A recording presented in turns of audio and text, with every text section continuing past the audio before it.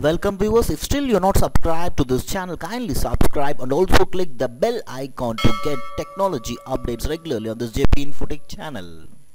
Hi, in this video we are going to see about how to install Python 3.8 and also the libraries required for executing our project. So kindly note this is for the people who purchase the project from us so we are using the version python 3.8 and also kindly note that in python you need to use the exact version of python or else you may get some errors while executing the project. So you need to use the exact version of the python and the exact version of the libraries that we have used during the developing the project. So first let us see how to install python 3.8 so first go to the google and if you type python you can see this python.org website. So this is the official website for the python. And once if you go to the python.org you can see downloads. And once if you click that you can see the latest version of the python. But kindly note that you should use only the exact version of the python for every particular project which is developed on the same version. So we are using python 3.8 so you need to go to the version of python 3.8 so here you can see the other releases of the python and just scroll down where you can see the older releases of the python. So where you can find the python version 3.8 so just scroll down so where you can find this uh, version python 3.8 and you can just click it and download it or you can use the url this this is the same url from the python.org website. So just paste it this url so it will be downloading the version of python 3.8 and just click save so now you can see the python 3.8 is downloaded which is around 26.2 MB so just double click it. And now you can see the install python where you can see the down uh, add python 3.8 to path which is not checked now. So first thing is like you need to check this one. And now you can see two options install now and customize install so in install now you can see includes idle pip and documentation. So pip is very important. So once if you're not install pip you cannot able to install the libraries of the python. So where you can see some errors like uh, um, pip is unrecognized kind of uh, errors. So if you just see this customize installation where you can see the pip option is being selected. So you can select that and you can do it or you can just click this install now option. So in customize all the things are being selected. So this is the better option. And now let me click next. And you can uh, select the all the options whichever you required. And you can see the location. This is the location where it is going to install. So kindly note this location. So if you wanted to install or uninstall anything you can just use this location. So and let me install and click yes. And now you can see the setup is being progress. So now you can see the message setup was successful. So python has been set properly. And now let me close. Now go to your command prompt. Now type python space hyphen hyphen version and click enter. And now you can see the python 3.8.0 is being installed. So once if you're not installed it will not show this one. Before installing you can check it out. Or if you are having some other version it will be showing that version. And as we have installed the python 3.8 it is showing the python version 3.8 now coming to the important point that is installing the libraries for the project so now we are going to install these libraries. So these are all the libraries i'm going to install and show you. And kindly note that for it is not mandatory to install all these libraries. I'm going to show this only for the demo purpose of how to install library guide. So kindly check your project folder where you can find the requirement folder and only install those requirements which is mentioned in your project so in case if this is your project here you can see the requirements file and you need to install only the version the mentioned python libraries in it and don't need to require all these i'm going to show. So i'm going to show you on the demo purpose only. So now let us start with installing the numpy.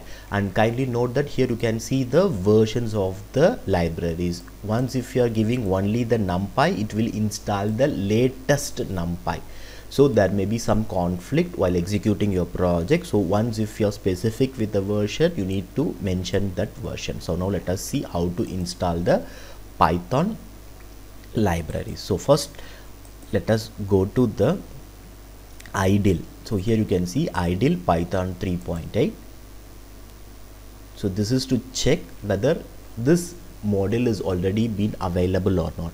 So this is the first time i have installed python 3.8 so it will not be available but for your reference i am showing you how to check it. So just type the keyword import and give space and you can check which which library you have or not. So let us type numpy for our case and click enter. And here you can see the error module not found error. No module name numpy which means that numpy is not installed in this pc so first let me go to the command prompt.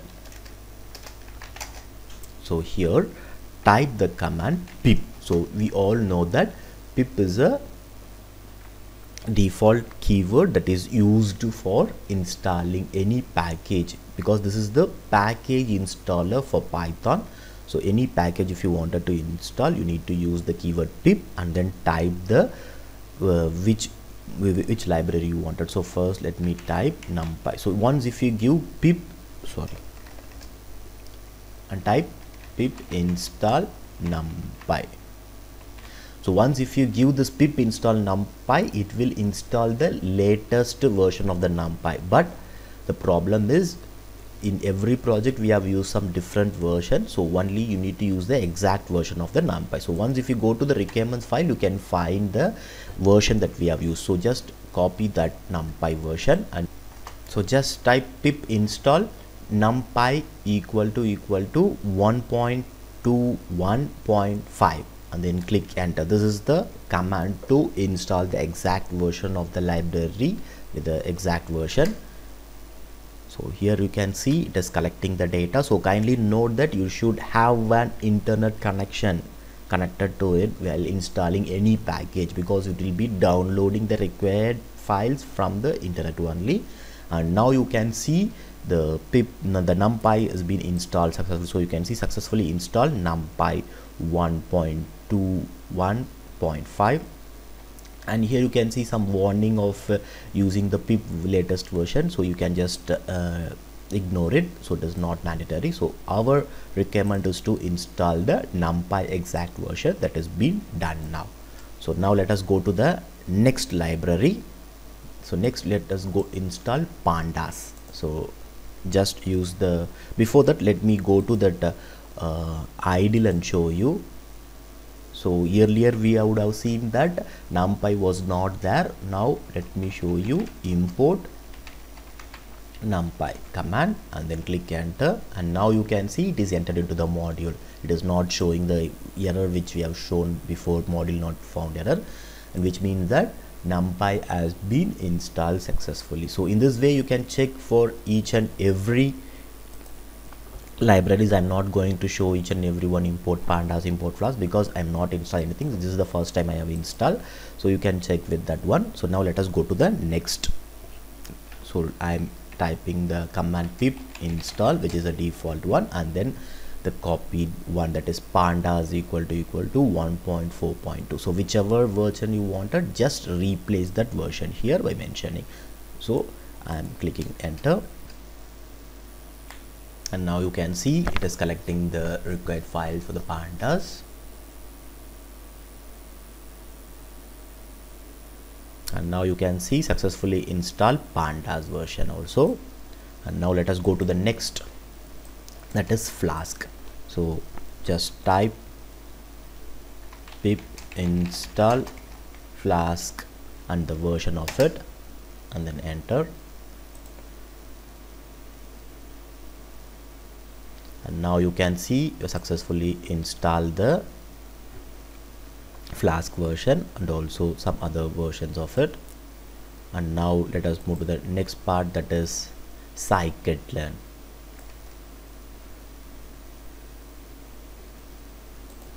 So just type the command pip install scikit-learn and the exact version of the scikit-learn and then click enter so it is downloading the required files for the scikit-learn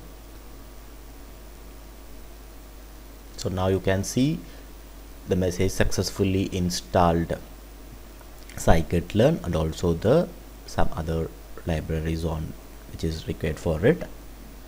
And now let us go to the next library that is matplotlib. Just type pip install matplotlib and the version of it and click enter.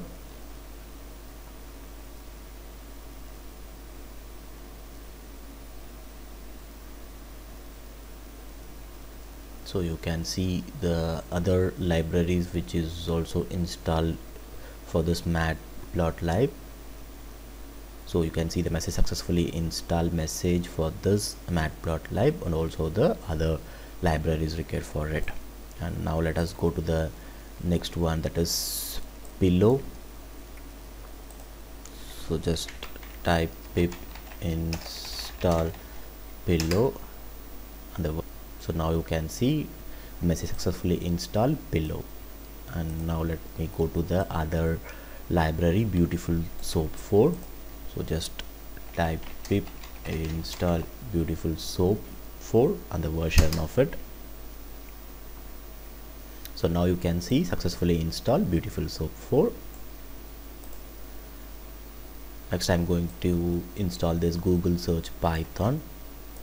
So just type pip install and then click enter.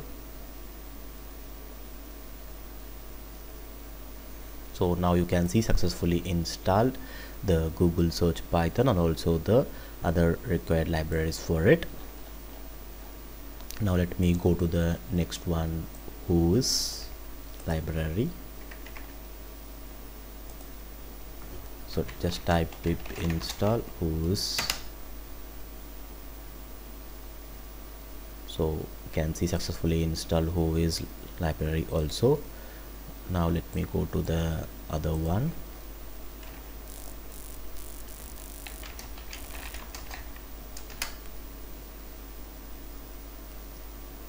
so here you can see this is already available. So it is showing that requirement already satisfied and also installed successfully. And now let me go to the request library. So just type pip install requests and click enter. So here you can see it is already available and so it is showing the details of it whichever things that is available with the location of it. So you can ignore it and now let us see about uh, the other library keras. So just go to the command prompt and type pip install keras and the required version of it and click enter. So you, here you can see uh, the requirement is already satisfied which means keras is already installed. And let me go to the other one. Pip install click and you can see successfully install click. And let me go to the flask mysql db so just type pip install flask mysql db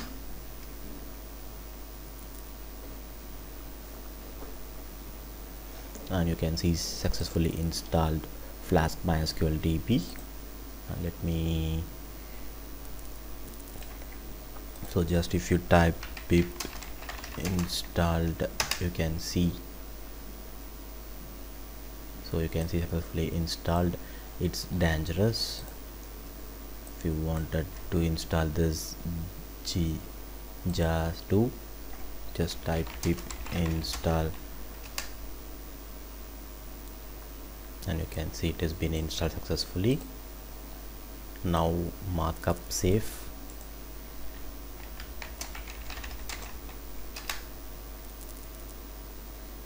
now you can see it has been installed successfully. Now let me go to mysql client part. So just type pip install mysql client the version. You can see it is successfully installed. And next one is pip install work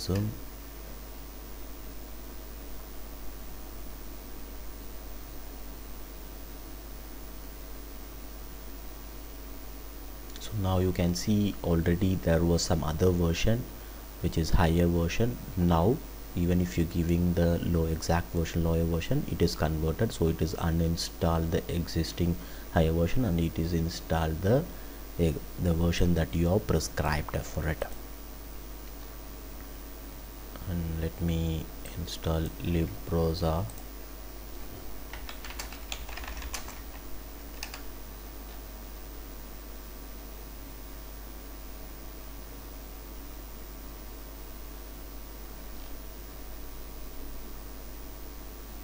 and you can see it is successfully installed the version of the Librosa which we have mentioned. And final I'll show you with efficient net library.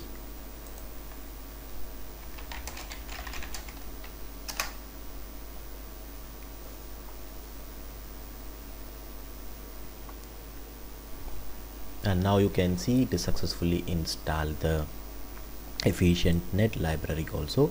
So in this way you can just check which is the requirement that is mentioned in the project folder and install the exact version of the library which is mentioned in it. And in this way you can just install python and the libraries for your final year project. And thank you for watching